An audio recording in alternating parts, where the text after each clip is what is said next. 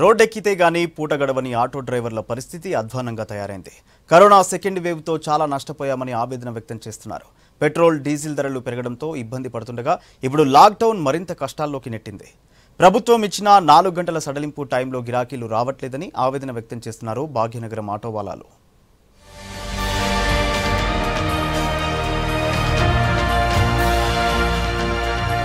Public ట్రాన్స్పోర్ట్లో RTC metro తర్వాత జనం ఎక్కువగా ఉపయోగించేది ఆటోలే.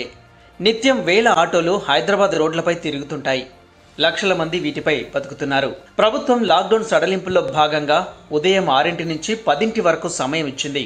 ఆటోలు క్యాబుల్లో పరిమిత సంఖ్యలో మాత్రమే జనం ప్రయాణించేలా నిబంధనలు విధించింది.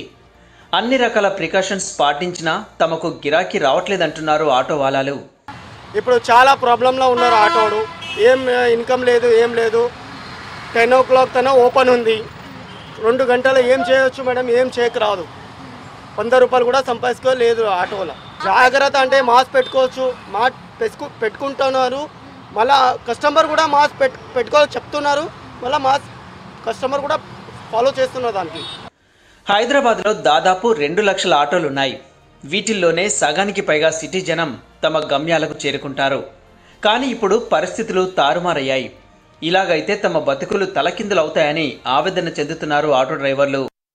ఇప్పుడు చాలా ఘోరంగా ఉందమ్మా. ఈ నాలుగు గంటలలో ఎక్కడ పోలేక ఎక్కడ రాలేక ఒక దాకా వస్తే మళ్ళీ ఖాళీ పోవాల్సి వస్తుంది. ఈ గ్యా మా పెట్రోల్ పైసలు కూడా సరిగా తినడానికి సరిగా చాలా ఇబ్బందిగా ఉన్నది.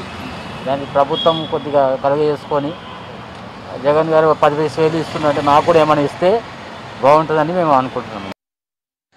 కరోనా సడలింపుల్లో ఎంతో ఉత్సాహంగా రోడ్లు ఎక్కిన తమకి నిరాశ మిగిలిందంటున్నారు ఆటో డ్రైవర్లు. గిరాకీలు లేక ఇబ్బంది పడుతుంటే పెరిగిన డీజిల్ పెట్రోల్ రేట్లు కూడా భారంగా మారాయంటున్నారు. తమ గ్రామాలకు వెళ్ళి ఎలాగోలా బతుకుతామని చెబుతున్నారు కొందరు ఆటో డ్రైవర్లు.